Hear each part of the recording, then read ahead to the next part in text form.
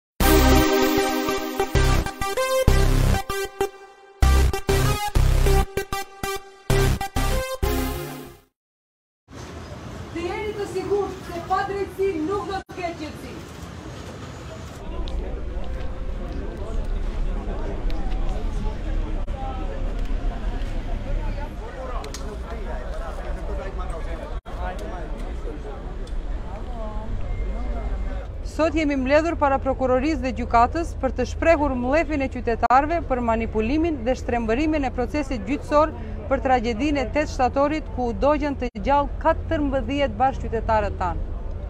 Për 5 vite ne kemi 4 tragjedi, 97 viktima dhe 0 ditë burg. Prandaj edhe besimi në sistemin e drejtësisë në këtë shtet për ne është zero. Jeta e qytetarëve është bërë peng i pazareve dhe tenderave pa kritere. U pa dhe u dëshmu që korrupsioni vret. Nga ky proces u vërtetua që prokuroria dhe gjykata janë pjesë dhe mbrojtës të krimit të organizuar që e mban peng shtetin. Kërkojmë nga qeveria që urgjentisht ta shkarkojë kryeprokurorin Joveski dhe ai bashkë me prokurorët tjerë të përfshirë në këtë vepër monstruoze të përgjigjen penalisht.